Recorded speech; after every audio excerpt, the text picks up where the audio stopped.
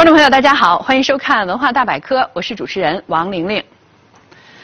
一九八六年五月的一天，河南省永城市世源村的一个农民在自家的采石塘采石的时候，偶然发现了一座古墓。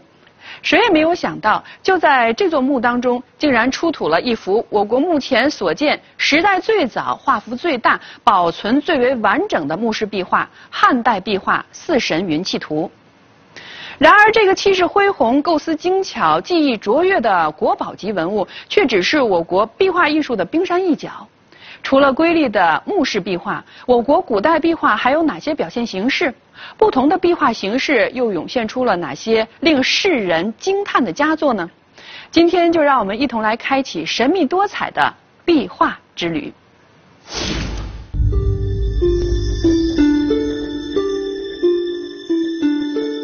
从原始社会开始，我们的祖先就在坚硬的岩壁上刻画各种图形，述说悠远的故事。这就是最原始的绘画形式——壁画。内蒙古阴山岩画是我国目前发现的最早的壁画之一。中国古代壁画以绘制场所的不同，可以狭义分为宫廷壁画、墓室壁画、石窟壁画。和四冠壁画等几种形式，作为古代壁画的主要类型之一，墓室壁画一般会于墓室的四壁、顶部以及甬道两侧，尽其所能把墓主在世间的生活情况、起居环境都包罗在内。有时也会出现神灵百物、神话传说、历史故事、日月星辰以及图案装饰等。借此来表达对亡者的缅怀。北齐鲜卑族墓室壁画《楼瑞墓壁画》是墓室壁画中的代表作品，它沿袭了汉魏墓室壁画单纯粗犷的风格，线条洗练遒劲，注重表现仪仗和卫士的神采和动态，晕染法也运用的相当纯熟，以透视的基本原理。立体表现凹凸明暗和远近景深，具有立体感和空间感。在楼瑞墓墓道、天井、甬道以及墓室四壁下层的壁画，描绘了墓主楼瑞生前的生活场景；而在甬道、墓门及墓室中上栏的壁画，则表现出他死后的虚幻境界。壁画以长卷式构图组成一组人间生活、古代神话传说与儒道释合流一体的画面，手法写实，洋溢着生活气息。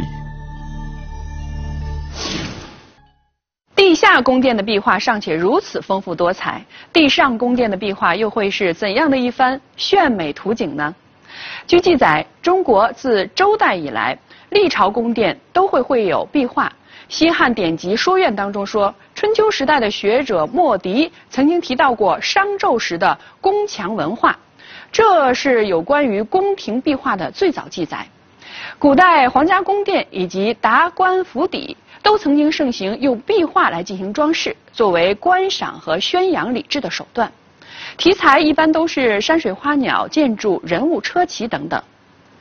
秦朝咸阳宫三号宫殿遗址当中出土的七套车马壁画造型生动、写实色彩浓厚，这就是我国现存最早的宫廷壁画。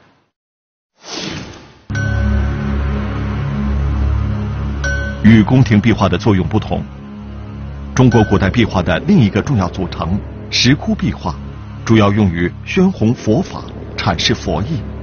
它是伴随着佛教的传入而诞生发展的。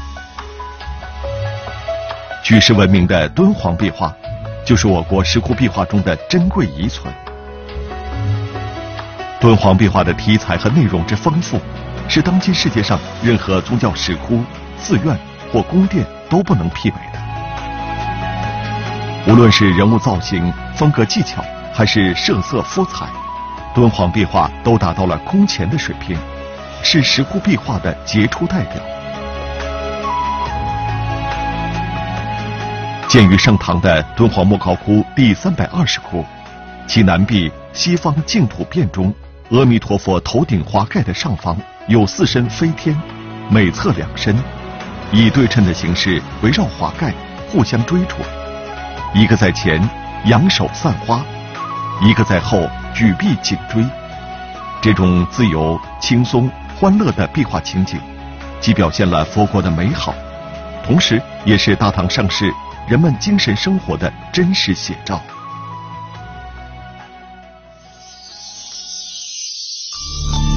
中国古代壁画的另一种主要表现形式是四观壁画，通常绘制在佛教寺院和道教庙观的墙壁上，内容一般是佛道造像和故事等。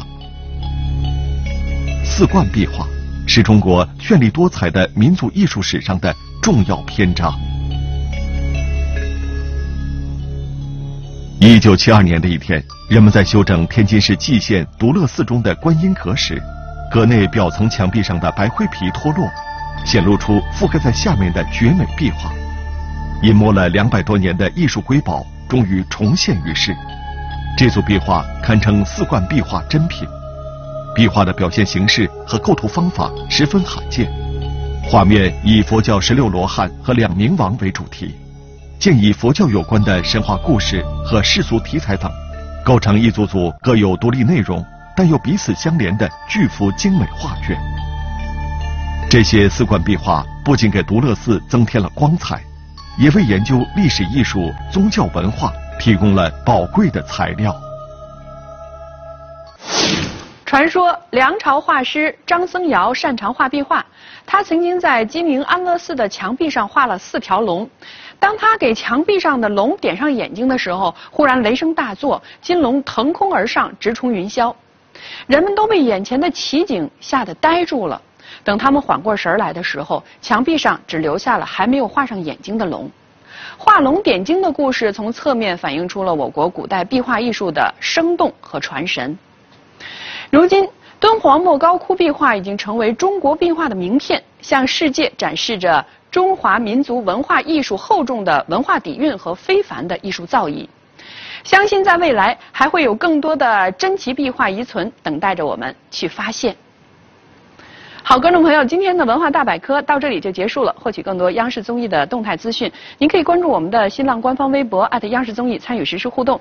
您可以拿起手机，打开微信、微博等任何可以扫描二维码的软件，扫描屏幕下方的二维码来加入我们。非常感谢您的收看，让我们相约明天同一时间，再见。它位列中国五大名山，被称作中国五岳的中岳。它汇集了儒释道三教文化。千百年来，皇帝在这里祭祀，僧人道士在这里修行，名人雅士在这里赋诗作画，留下了众多的人文遗迹。敬请收看《文化大百科：嵩山建筑群》。